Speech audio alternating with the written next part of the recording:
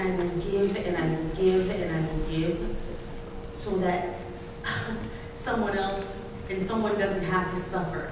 I will give and I will give and I will give to end the suffering, to end my own suffering. It's a healing process for me. Becoming a member is it was a healing process for me. If you are looking for sisterhood, if you are looking for community, wherever you're coming from, I encourage you to join me Black Women's Blueprint, join our other members, join our healers, join our educators, join our waymakers and freedom fighters, and become a member. No one will be turned away who wants to be part of the Black Women's Blueprint tribe. When I first testified last year, and that would have been the first time I had picked this up in five years because of the trauma I went through from someone that I actually. This piece is a representation of what happened and my own personal reconciliation from this trauma and being able to stand here and hold this and give it a new connotation for me. So that when I play, I think more of what I've done to overcome and being able to share it with people like you as opposed to, oh my God, what happened to me. So I hope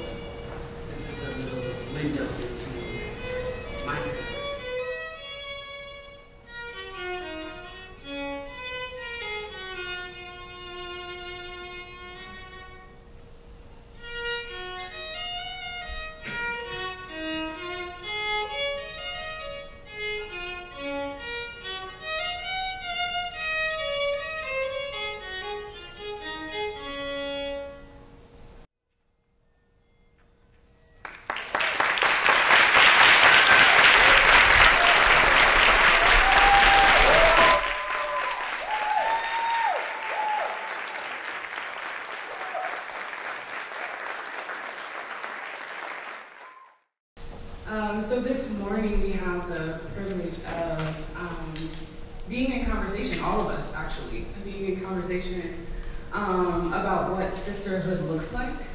Um, and I'm really excited about this conversation. Um, we'll have this moment to articulate um, what sisterhood um, across the spectrum looks like for us. Um, and I'm going to turn it over to Bree to introduce this work, um, what this conversation will look like, um, to speak to the work of Trans Sisters of Color Project, um, and to invite you all into dialogue um, with us. So um, I have the privilege of being the executive director of the Trans Sisters of Color Project. It is a labor of love. Um, and the organization really started because I did not see a space for black trans women in the city of Detroit, right? So um, I had been in a relationship uh, throughout my years as an advocate um, with black trans women who were more than capable, who were powerful, who were beautiful, right, who were surviving and thriving. Um, but organizations would not invest in them, right? And I don't mean invest like providing trans people with jobs, right? Health insurance, right? But really making sure that trans people have access to all the things that we need to survive and thrive, right? Despite all of the visibility, despite the Caitlyn Jenners, despite the um, Laverne Cox and the Janet Mocks, right? Trans people are still being murdered in this country, and there has not been a real response. So the Trans Sister Project, this Trans Sister of Color Project is actually done this month, and I'm really excited to share more work with you. Okay. I am again James Poindexter. So I am one of the founding board members of the Trans Sisters of Color Project. And I also have the distinctive great honor of being a victims advocate, specifically the Trans Specialist Victims Advocate of Equality Michigan. So Take the phone calls every day of um, the women and the gentlemen in the LGBT community that are oppressed, that are discriminated against, that are harassed, that are unfairly treated with housing, unfairly treated as relates to jobs. There is no ordinance that covers the LGBT community from getting fired at will for whatever reason. It could be because you're gay, because you're trans, or because your manager just didn't like you particularly that day because you lead a different lifestyle than what's considered normal. So I take those phone calls every day. I process that information. I process the injustice. I process the victimization. And I figure out ways to connect the people with services, information, and also I try my best to empower them so that eventually throughout our exchange, you wind up not needing me. That's the point. So that's what I do every single day. Um, I also obviously am a proud trans sister of color. And I take pride in the fact that I wake up every day and that I don't do selfish work. I don't do something that just benefits me. I do something that not only benefits my fellow brothers and sisters in the community, but I also take the cause of my cisgendered women because I have a heart and I know that problems and victimization does not just hit the LGBTQ community. It is abroad. It is way bigger than all of us in this room can ever imagine.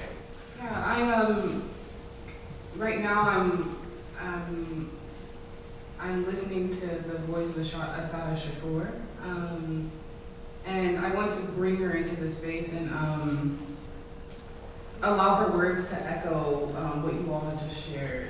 Um, and I think that her work, um, particularly this poem that I'd like to share, um, speaks to the beast that is patriarchy um, and all of its arms and legs and its heart that is misogyny, um, that is the hate of femme, that is the hate of um, of blackness and the hate of, of women and their bodies. Um, and I believe that um, that if we keep our eyes on that,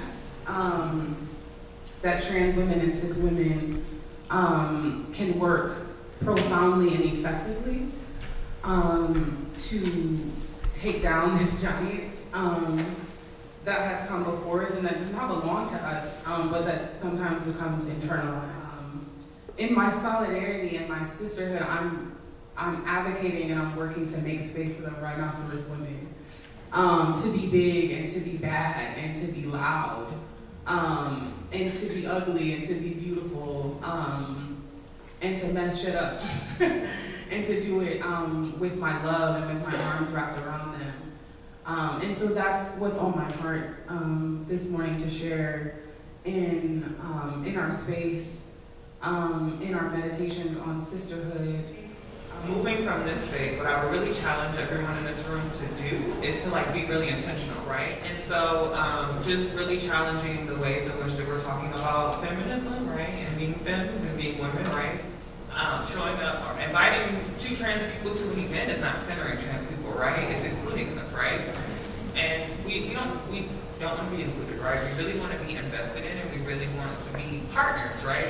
So um, just being really mindful of like we're setting the intention of making sure that like all women are invited into spaces, there should be trans women, right? Well, liberation for all of us is not going to happen until trans people are liberated, right? We have to remember that the reason why trans women are being killed is not because people assume or people feel like that we're men, but because we're women, right? And so like um, take those take those words and take those similarities, right? And remember that like when you're out in spaces when you see stuff happening, whether it's a trans woman, a cis woman, whatever, if you don't even know, like stand up and be that person to stand in that gap, right? Because the only way that cis men, cis men are going to start respecting us and treating us with any kind of decency is if women change the narrative, right? Right? I, I think what will really change is when people, and I'm not just speaking of women or trans women, women or men or cisgender men, when people understand the intersectionalities of trans women and women, the fact that you're black, I'm black, the fact that you can get raped for no reason, the same fact I can. The fact that you can walk down the street and someone can say, hey, and if they don't like your response, you can then be subject to physical violence. You can then be subject to hate speech. You can then be subject to demeaning that brings you to a level that you would even question yourself just because of who you are. Not because you offended, not because you did something to them, not because you stole from them.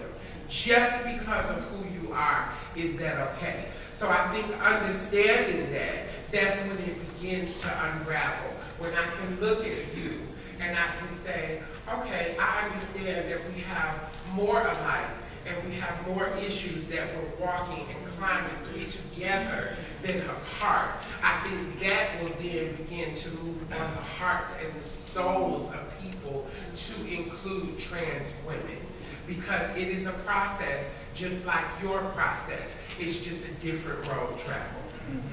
So I, I do, I do want to know what do we do with this shit. Um, not as a tiny fight between cis and trans women, but as a way to protect the survival of all black women um, in our bodies and um, wherever underneath of our clothes, right? So um, this is a conversation that needs to be had. This is a conversation we need to have at home. It's a conversation we need to have right here. Um, and I also think that um, our sexual education is whack. It's not comprehensive. It's not trauma informed.